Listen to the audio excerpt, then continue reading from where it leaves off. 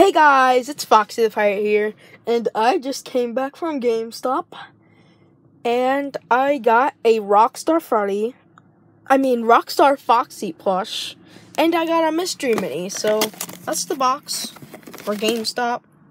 Hope I get a GameStop exclusive. So, let's see. I already opened this, but I didn't see what it was. Oh, let's go! Guys, I just got a exclusive Scrap Baby. This is actually really cool. I never had this. Oh my, this is really cool actually. Let's see. I got the exclusive, so this is a 1 out of 12 Scrap Baby exclusive for GameStop. Oh, wow. And I also got to get the box of the Pizzeria Simulator plush. So yeah, I that is one thing I got.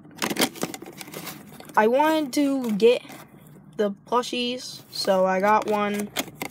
So yeah, let's put that down. And now I got the Rockstar Freddy.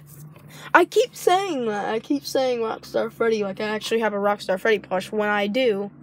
And this is the Rockstar Foxy plush. This plush actually looks pretty cool. I like the parrot on it. It looks pretty cool. It's printed, of course.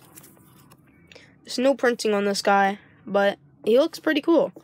I like the way they do their eyes, but I'm not um it's not that good because it doesn't have the teeth.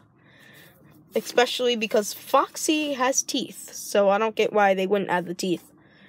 So they actually have this new ear and the new fluff. They have four instead of three. And this guy looks pretty good. Mm, nothing much on the back. And I'm glad that they don't have that little swervy kind of thing on the Rockstar Foxy. And yeah, oh, wow. No, there is printing. Yep. There is printing. So, and then they have that. And then they have the bird. I like the bird. It looks pretty cool. And then there's the tag. So, I mean, my Walmart is actually right there, but I unfortunately do not have much money on me. So, even if they did have the Happy Frog and Mr. Hippo, I wouldn't be able to get it, which would make me really, really sad. Because my GameStop is right next to my Walmart, so it's pretty easy to go places, especially when I mean, I go to GameStop and then my Walmart is right next to it, so even if I have extra money left, um, I can go to Walmart. So, yeah. Thank you guys so much for watching this video. I hope you guys like this video and subscribe. And, yeah.